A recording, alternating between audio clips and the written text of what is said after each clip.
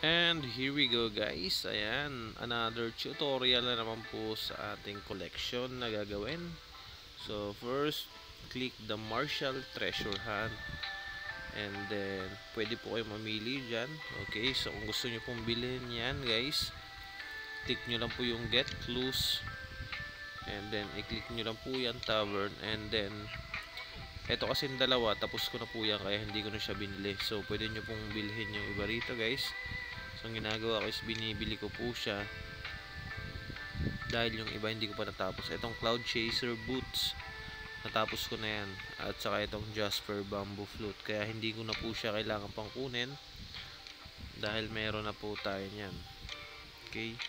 So, ito po yan. Jasper Bamboo and Cloud Chaser.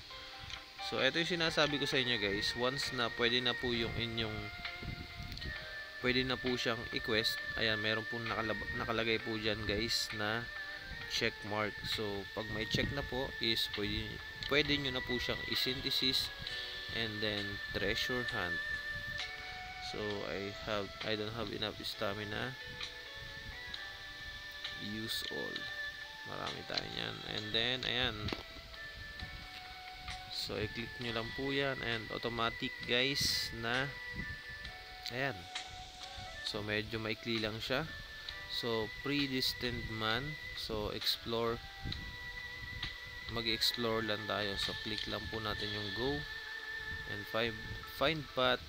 Ayan. So, babasahin nyo lang po yan guys. Eaglewood bracelet that sinks as soon as it fails into the water is of the highest quality. Okay. Looking at the treasure map, red con red conch plain or export may have a clue as to where the treasure belongs. So, wait lang po natin makarating doon and then ito na nga po. So, ayan. Ang una lang po natin gagawin is hanapin ito nga pong uh, ito nga pong ating keyword.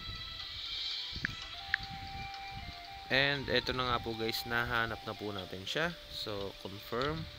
So, once na dalhin po kayo doon, is ang hahanapin nyo lang po itong si Lord Chonma. So, click nyo lang po ulit yung inyong map.